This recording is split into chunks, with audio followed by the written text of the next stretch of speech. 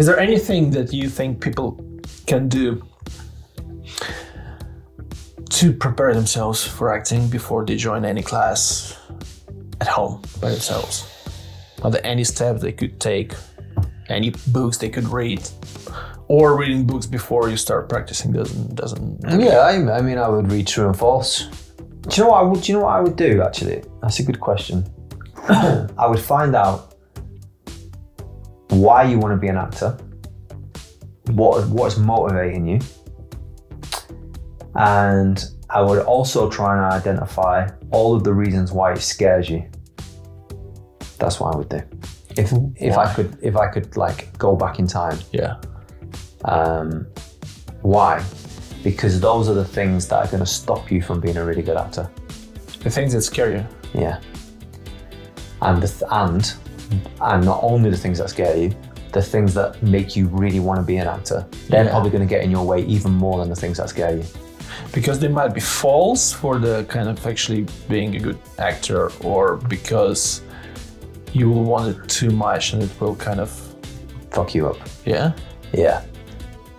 The thing that stops people from being really good is their desire to be really good, and is their desire to succeed.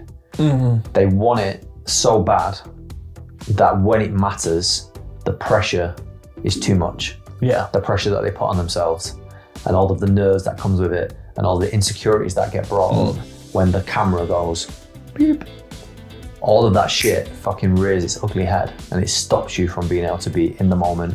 It stops you from remembering your prep, and you suddenly become fucking hyper aware of yourself Yeah. and the fact that everybody's watching, and oh my god, I want to do a really good job, and oh my god, if I don't get this right now, I'm shit, and if I'm shit, I, I can't be an actor, and I'm not going to succeed, and that's the thing that I really, really want to do, and like whether you're conscious of it or not, that is what is happening.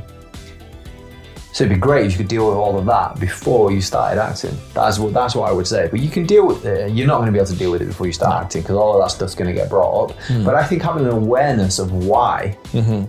I think would actually be a really good starting point. Hmm. So yeah, you could read books, you could do vocal exercises, you can fucking shoot some self tapes, you can read some scripts. All mm-hmm. of that stuff's good. Mm-hmm. Fantastic, crack on. But the shit that's going to stop you from succeeding is is is the shit. Being professional is being able to do it when it matters. Mm-hmm. It's all right being fantastic in your living room on your own, but like, can you do it when it means a lot?